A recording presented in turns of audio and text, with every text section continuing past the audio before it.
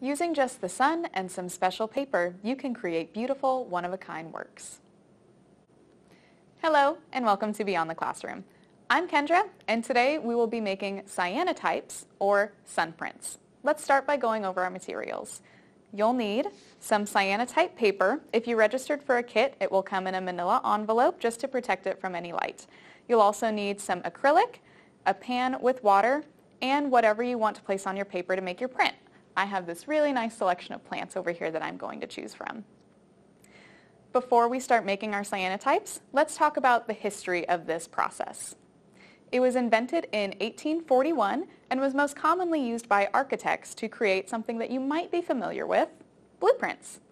They would draw their designs on thin paper and ink, place their designs on a cyanotype paper, and just leave them in the sun.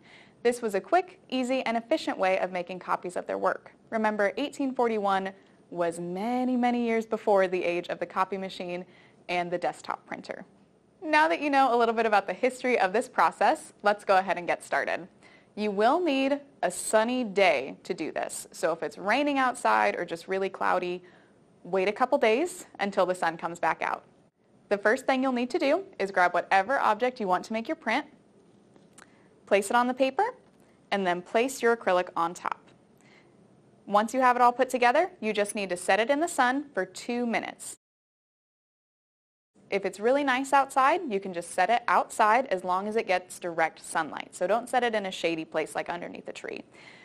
If it's a little bit chilly outside, you can even set it in a windowsill. All that matters is that there is direct sunlight hitting the page. While we wait, let's talk about the process that's taking place. The paper is coated in photosensitive chemicals that react to ultraviolet rays from the sun.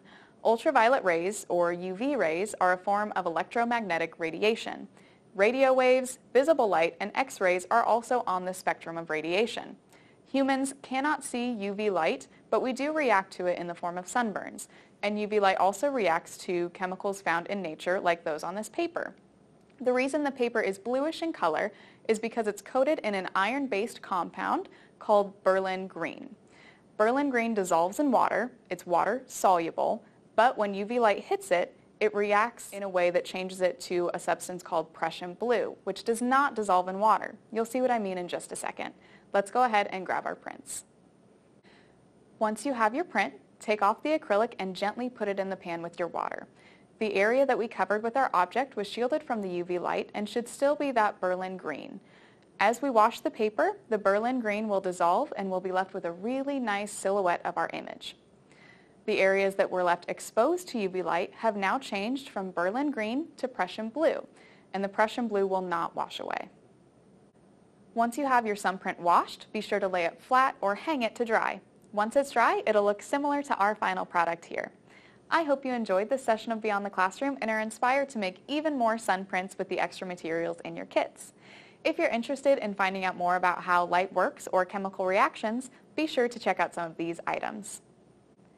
Building Blocks of Science, Light by Joseph Midthun and Samuel Hiti. Black Holes Explained by James Negus. High School Physics Unlocked and High School Chemistry Unlocked, both edited by the Princeton Review. Thank you for joining me. I'll see you next time. Bye.